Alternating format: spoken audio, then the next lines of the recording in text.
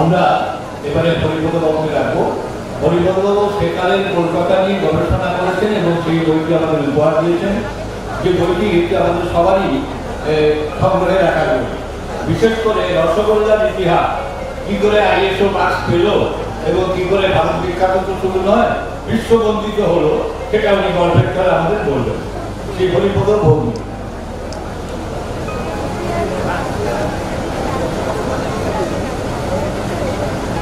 উপস্থিত সুধীমণ্ডলী এবং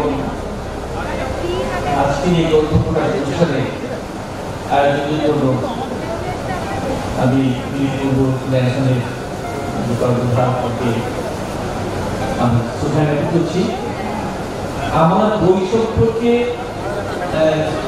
আমাকে বলতে বলা হয়েছে, কিন্তু একটা সময় ছিল যে সময়ে আমি এই লেখাগুলো লিখেছি। বিশেষ করে কলকাতা পত্রিকাতে সেগুলি করেছেন আমাদের চলচ্চিত্র ঘোষ আমি এই গ্রন্থটি সম্পর্কে, অর্থাৎ আমার সেই সময়ের লেখা প্রসঙ্গে, আমি আমার মঞ্চে ডেকে গিয়েছিলাম আমার পাশে বসিয়েছিলাম আমাদের ডক্টর বসুকে। এই সম্পর্কে ও বলবে। আর যেটুকু রসগোল্লার কথা বলতে বলা হচ্ছে সেটুকু আমি বলব রসগোল্লা আপনারা জানেন যে দু হাজার পনেরো সনে তিরিশে জুলাই আমাদের প্রতিবেশী রাজ্য উড়িষ্যা থেকে দাবি করা হয়েছিল যে রসগোল্লার জন্ম উড়িষ্যাতে এবং জন্মেছেন পুরীতে। সেই নিয়ে আড়াই বছরের সেই রসযুদ্ধ যা ব্যতিক্রমী পৃথিবীর ইতিহাসে, যে একই দেশের দুটি রাজ্য একটি পণ্যকে সামনে রেখে তারা যুদ্ধ অবতীর্ণ হয়েছিলেন আর জিআই ট্যাগের জন্য। এবং প্রায় আড়াই বছর সেই যুদ্ধ এবং এই গেল সেই গেল এই অবস্থার মধ্য থেকে শেষ পর্যন্ত আমরা রসগোল্লা বাংলার এটা প্রমাণ করতে পেরেছি। ছোট দুটো একটু কথা বলি, সেটি হচ্ছে যে ছানা রসগোল্লা রসগোল্লা যেগুলো জিনিসের গোল্লা করে রসে দিয়ে তার রসগোল্লা হয় কিন্তু বাংলাতে ছানার রসগোল্লা, এটা বাংলার নিজস্ব সম্পদ। তার কারণ হলো ছানা শব্দটি আমাদের বাংলার নিজস্ব শব্দ এবং আমরা আজও এই দুধ ছিন্ন করা হয় এবং তাকে ছানা বলা হয়। এবং ভারতবর্ষের অন্য কোনো রাজ্যে ছানা মিষ্টি ব্যবহার করে ভগবানের পুজো নিবেদন করা হয় না। তার কারণ হলো ছানা নষ্ট হয়ে গেল বলে ছানাটা অস্পৃশ্য হয়ে গেল। সুতরাং আমি সেখান থেকেই বলেছিলাম যে যে মন্দিরে, পুরীর মন্দিরে যেখানে বিদেশ থেকে আসা কোলালু বা অন্যান্য জিনিস প্রবেশ করেনি, সেখানে এই নষ্ট দুধের মিষ্টি কি করে সেখানে প্রবেশ করল? এবং সারা শব্দে আমরা জানি যে মায়ের সঙ্গে সন্তানের সম্পর্ক আমাদের নারীর সম্পর্ক, নারী একে করে সন্তানের জন্ম, সুতরাং আজও গ্রাম বাংলায় ওই বাচ্চাদের ছানা পোড়া বলা হয়। তো এই যে ছানা, এই ছানাকে নিয়ে সামনে রেখে তার বহু তথ্য দিয়ে ওই রসগোল্লার ইতিহাসটা আমরা আমাদের বাংলা রসগোল্লা সেটা প্রমাণ করার জন্য যে পশ্চিমবঙ্গের সরকারের তিনি শুরু করিয়েছিলেন। তার কারণ হচ্ছে যে, যেহেতু অন্য একটি রাজ্যকে শুরু করা হয়েছিল তার বিরুদ্ধে। এবং শেষ পর্যন্ত সেই যুদ্ধে আমরা জয়লাভ করি। এবং সেই বইটি লেখার দায়িত্ব আমার কাছে পড়েছিল এবং আমার লেখা বইটি বাংলার রসগোল্লা সেই সম্মান সেই সম্মান লাভ করেছে। সেই কারণে আমার সৌভাগ্য যে আমি আর আমার বইটি সকাল থেকে রাত্র এবং জন্ম থেকে এই প্রসঙ্গ কথা রয়েছে। আমি এই বইটির প্রসঙ্গে কিছু বলার জন্য আমি দেবাশিস বলব যে এই বইয়ের প্রসঙ্গ কথা ও বলবে কাছে কাছে। ডাক্তার বসু বলবেন এই সেকালের কলকাতার রসগোল্লা বিষয়ে বলবেন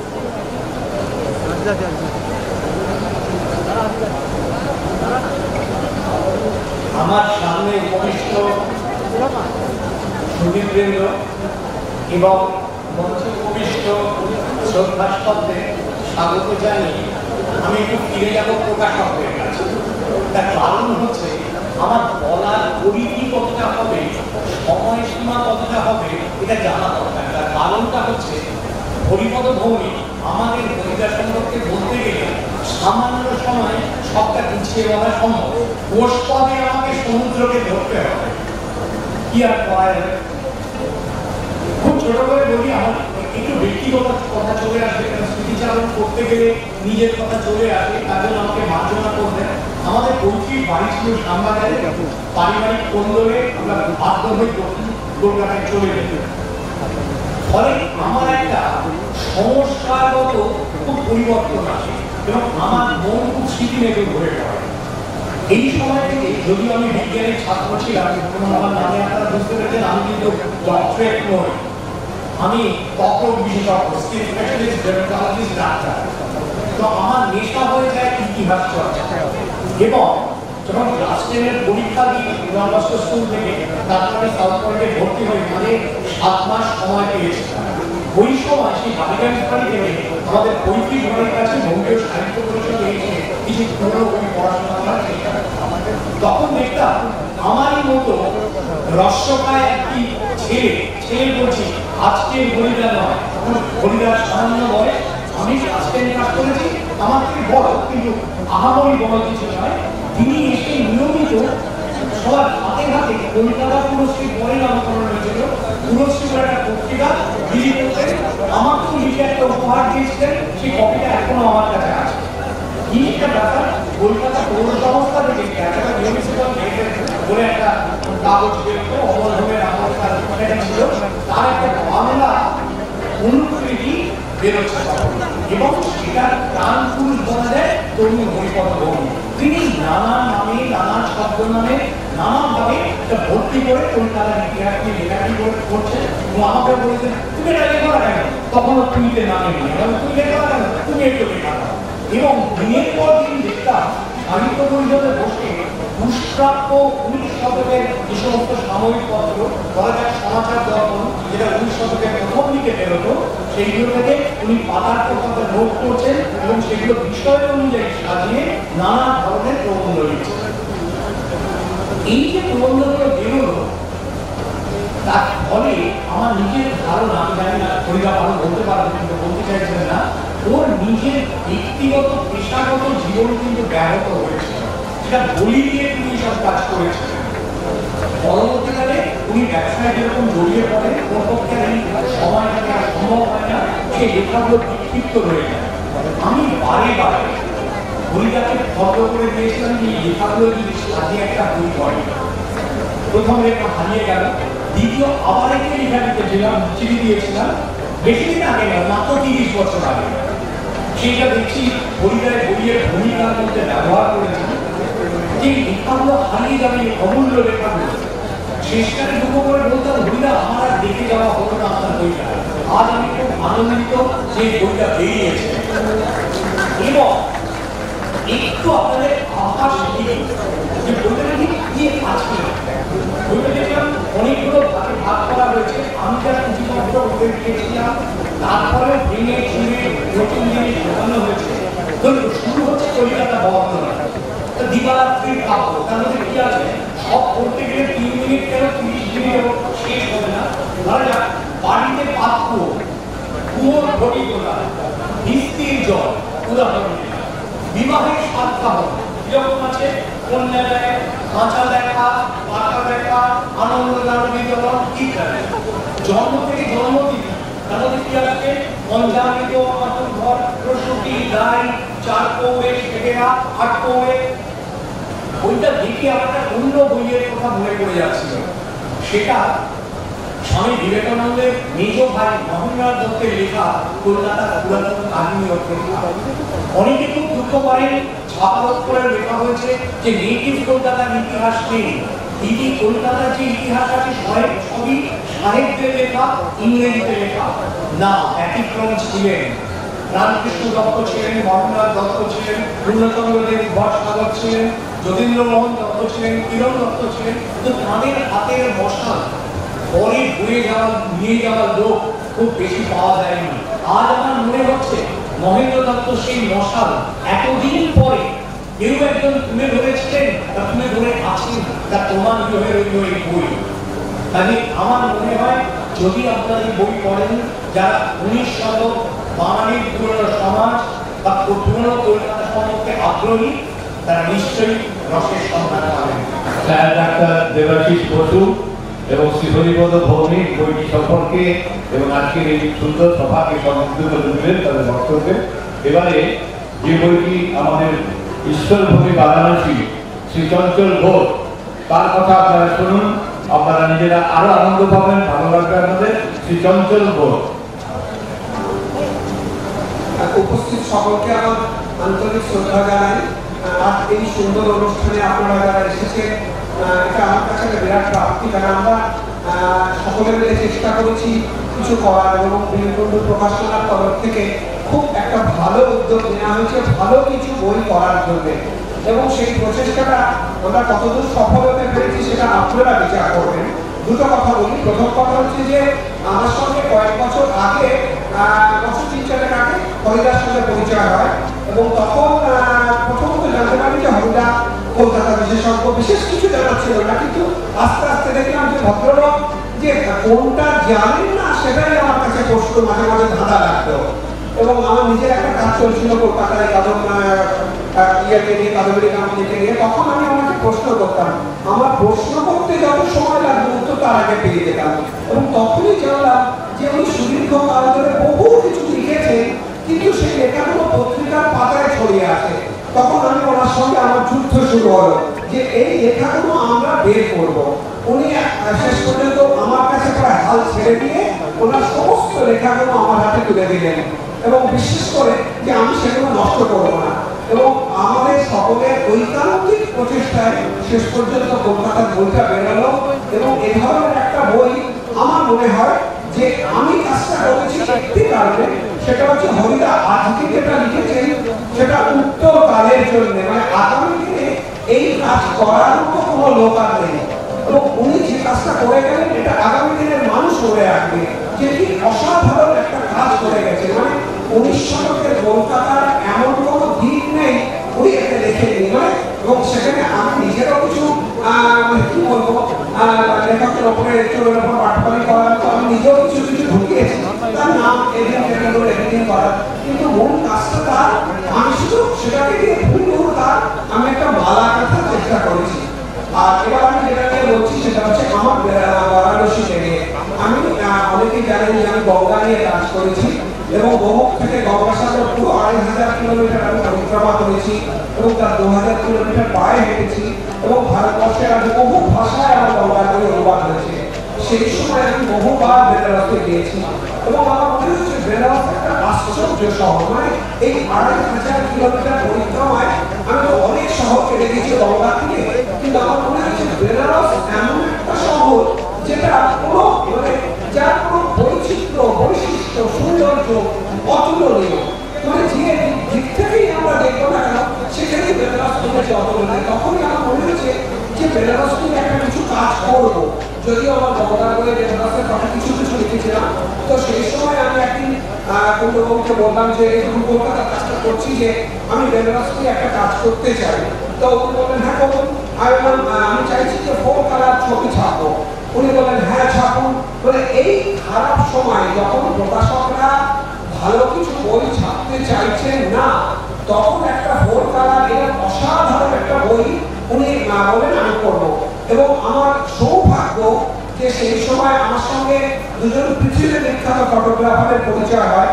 একজন হচ্ছে মনীষ ছেত্রী সে বেনারসের তার মানে বেনারস নিয়ে প্রধানমন্ত্রীর তরফ থেকে করে তার নিজের আহ, সংগ্রহে প্রায় কয়েক লক্ষ বেনারসের ফটোগ্রাফি এবং রেয়ার ফটোগ্রাফি যেগুলো কাউকে তুলতে দেওয়া হয় না।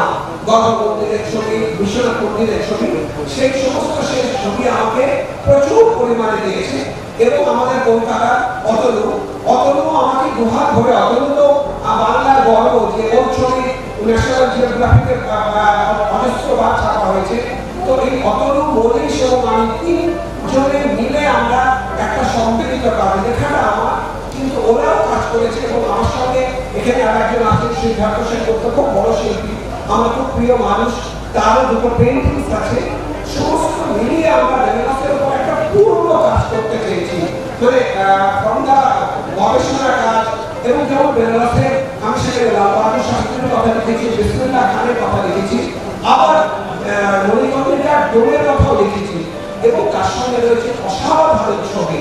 এবং আমি খুব গর্ব করে বলছি যে এইরকম একটা ফটোগ্রাফি বই বাংলায় কেন ইংরেজিতেও নেই আমি খুব গর্ব করে আমি মোটামুটি অনেক বই ঘেটেছি। বাংলায় কেন ইংরেজিতেও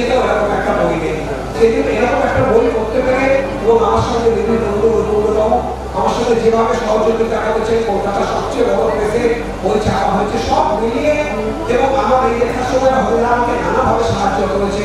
একটা সম্মিলিত প্রচেষ্টা এবং আমরা একটা ভালো কাজ করতে চেষ্টা করেছি। কতটা কি করতে পেরেছি, সে বিচার্য আপনাদের। তবে সকলে বলি, ভালো থাকুন। আমরা দু বছর পর আবার বইমেলায় আসতে পেরেছি এবং আমরা আনন্দ করতে পারছি। এবং বাকি দিনগুলো আমরা বইমেলা আরও ভালোভাবে কাটাবো। এইটুকু বলে শেষ করতে সকলকে আমার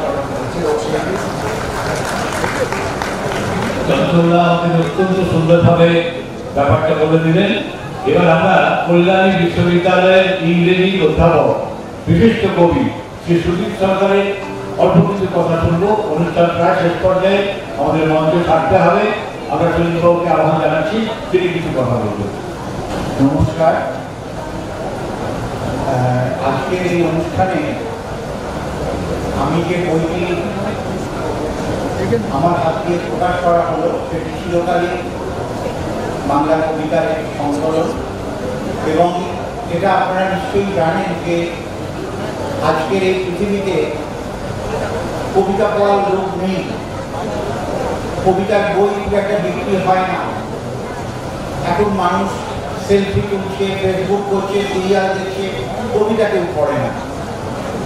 কিন্তু যদি আমরা কবিতা পড়ি কেউ পড়ে এবং কবিতা যদি পড়ি তাহলে কিন্তু আমাদের অন্তর্জগৎ অনেকটা সমৃদ্ধ হয়। সেটা অনেকক্ষণের বলার ব্যাপার, অত দ্রুত বলা যাবে না। আমি শুধু একটা কথা বলি। ধরুন, আজ থেকে সত্তর বছর আগে, প্রায় সত্তর বছর আগে জীবনানন্দ লিখেছিলেন, অদ্ভুত আহার এক এসেছে পৃথিবীতে আজ। যারা অন্ধ, সবচেয়ে বেশি আজ চোখে দেখে তারা যাদের হৃদয়ে কোনো প্রেম নেই, প্রীতি নেই, করুণার আলোড়ন নেই পৃথিবী অচল আজ তাদের সুপরামর্শ ছাড়া। ভাবুন এই যে লাইন চারটে আমি বললাম, সত্তর বছর আগে লেখা হয়েছে অর্থাৎ সত্তর বছর আগের একটা কতগুলো লাইন আজকে যদি আপনি এই কবিতাটা পড়েন, মনে হবে গতকাল লেখা হয়েছে। সত্তর বছর আগে একজন কবি দেখতে পেয়েছিলেন আজকের এই পৃথিবীটা এটা একটা কবিতা পড়ার লাভ। আপনারা যখন এই লাইনগুলো দেখবেন, অদ্ভুত আধার এক এসেছে পৃথিবীতে, আর যারা অন্ধ, সবচেয়ে বেশি আর চোখে দেখে আপনি চারপাশে তাকাবেন এবং বুঝতে পারবেন লাইনগুলো যেন মনে হচ্ছে আজকের ঘটনাকে বলা হয়েছে। যাদের হৃদয়ে কোনো প্রেম নেই, প্রীতি নেই, করুণার আলোড়ন নেই, পৃথিবী অচল আজ তাদের সুপরামর্শ ছাড়া এই যে সুপরামর্শ শব্দটা উনি ব্যবহার করেছেন, একটু ভাববেন, এই লাইনগুলো আপনার কিন্তু অন্তর্জগৎকে আলোড়িত করবে, আপনাকে ভাবাবে এবং আপনাকে নতুন এক জীবনের পথ দেখাবে। আজ থেকে সত্তর বছর আগে একজন কবি সত্তর বছর পরে পৃথিবীকে দেখতে পেয়েছেন। কবিতা পড়ার এই লাভটুকু মনে রাখবেন, কবিতা পড়ুন, এটুকুই আমার অনুরোধ। নমস্কার। ছাত্র মাননীয় অধ্যাপক শ্রী সরকারের পর আমাদের ধন্যবাদ জানানোর পাওয়া মঞ্চে ছেড়ে দিতে হবে আমাদের বিবি কুন্দুয়ান গ্র্যান্ডসন্সের পক্ষ থেকে বিশ্ব বিকাশ কুন্দু যা ঐকান্তিক ইচ্ছাতে এত বড় একটা অনুষ্ঠান আমরা করতে পারলাম। তিনি আপনাদের ধন্যবাদ জ্ঞাপন করব মঞ্চে উপস্থিত বিশিষ্ট ব্যক্তিবর্গ এবং আমার সামনে উপস্থিত বৈজ্ঞানিক মানুষজন পঁয়তাল্লিশতম আন্তর্জাতিক বই মেলায় আমাদের আজকে নটা বই উদ্বোধন হয়েছে। আগামী দিনে আরও কিছু ভালো কাজ করার ইচ্ছা আমাদের আছে। যে বই আমরা তৈরি করেছি, অত্যন্ত গর্বের এবং আনন্দের বিষয়। এই ধরনের বই কিন্তু কলকাতায় নেই, সারা ভারতবর্ষ আছে কিনা সন্দেহ। লেখকরা যে সহযোগিতা করেছেন। শুধুমাত্র লেখক কেন? লেখক ডিটিপি প্রেস বাইন্ডার সকলের একটা সম্মিলিত প্রচেষ্টায় একটা বই তৈরি হয়। বই তো শুধু দুমহলাটের মধ্যে কিছু আঁকিবুকি নয় বই মানে হচ্ছে একটা গর্ব, বই মানে অহংকার। সে অহংকার পাঠকের নীরব অহংকার। আমরা মূলত প্রায় তিরিশ বত্রিশ বছর ধরে পাঠ্যপুস্তকের সঙ্গে অঙ্গাঙ্গিক হয়ে জড়িত ছিলাম, আছি। সৃজনশীল সাহিত্যে আমরা একেবারেই নতুন তিন চার বছর বয়স আমাদের মাত্র শৈশব অবস্থা বলতে পারে তো সেই জায়গা থেকে পাঠ্যপুস্তকের জগতে যে সক্রিয় উপস্থিতি আমাদের রয়েছে, সৃজনশীল পাঠ্য, সৃজনশীল পুস্তকের যে জায়গা, সৃজনশীল পুস্তকের যে বড় বাজার, সেই বাজারে আগামী দিনে আমরা একটা উজ্জ্বল উপস্থিতি রাখতে পারব। আপনাদের সকলকে আজকে উপস্থিত থাকবার জন্য ধন্যবাদ জানিয়ে এবং প্রত্যেকে যারা আমাদের অতিথি রয়েছেন এবং সামনে যারা রয়েছে, সবাইকে আমার নমস্কার, প্রণাম জানিয়ে আজকের মতো আমি শেষ করলাম। ধন্যবাদ।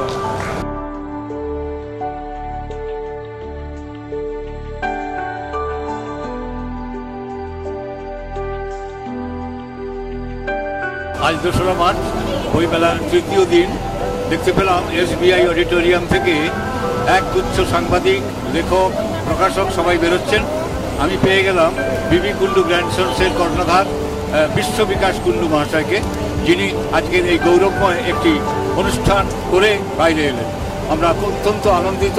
আমরা তার কাছে জেনে নেব কি তার আগামীর উদ্দেশ্য এবং তিনি কীভাবে এই প্রকাশনাকে আরও বেশি বেশি করে পাঠকদের সামনে পৌঁছে দেবেন লেখকদের তিনি রাখবেন এবং পাঠকদের সঙ্গে প্রকাশক এবং লেখকের যে সমন্বয় তা তিনি কীভাবে এগিয়ে নিয়ে যাবেন সেই সম্পর্কে যদি কিছু বলেন। নমস্কার। পঁয়তাল্লিশতম আন্তর্জাতিক বইমেলায় আজকে ওয়াইসবিআই অডিটোরিয়ামে আমাদের নটি বই উদ্বোধন হয়েছে। ঈশ্বরভূমি, বারাণসী, সেকালের কলিকাতা সেরা কবিতা সেরা আবৃত্তি, মেঘ পশু এগুলো আজকে উদ্বোধন হয়েছে। আগামীতে আরও ভালো ভালো বই আরও নতুন ধরনের বই, নতুন বিষয়ভিত্তিক বই আমরা পাঠকের হাতে তুলে দিতে চাই। লেখকদের সহযোগিতা এবং সহযোগিতাকে আমি ধন্যবাদ জানাই। এবং আগামী দিনে আরও অনেক ভালো নতুন ধরনের বই আমরা পাঠকের কাছে পৌঁছে দিতে চাই। পুরোপুরি কোভিড বিধিকে মেনে আজকের এই অনুষ্ঠান পরিচালনা আমরা দেখে আনন্দিত এবং সেই আনন্দের সঙ্গে সঙ্গে আমরা বলব যে তিনি যেভাবে এই বই শিল্পকে ভালোবাসছেন সম্ভবত তিনি বই শিল্পের কোনো একজন পদাধিকারী ব্যক্তি সেক্ষেত্রেও তিনি কিন্তু অনেকের সঙ্গে যুক্ত থেকে সবাইকে সহযোগিতা দিচ্ছেন। আমরা তার কাছ থেকে শুনে নিই তিনি কীভাবে সেই কার্য সম্পন্ন করছেন বই পাড়ায় বসে।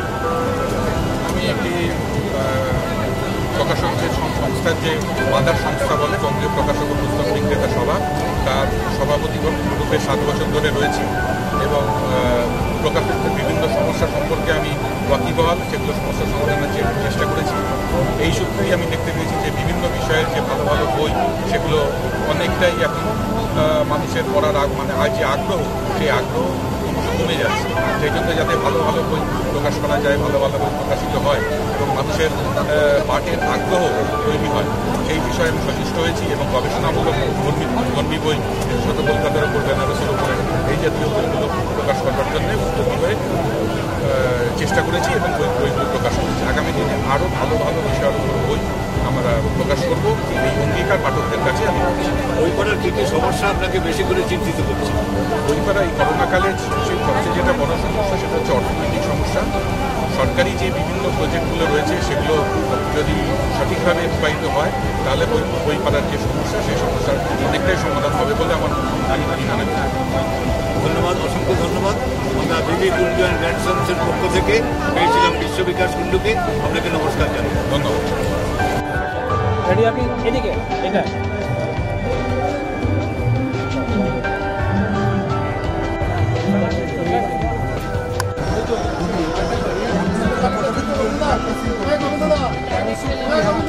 হ্যাঁ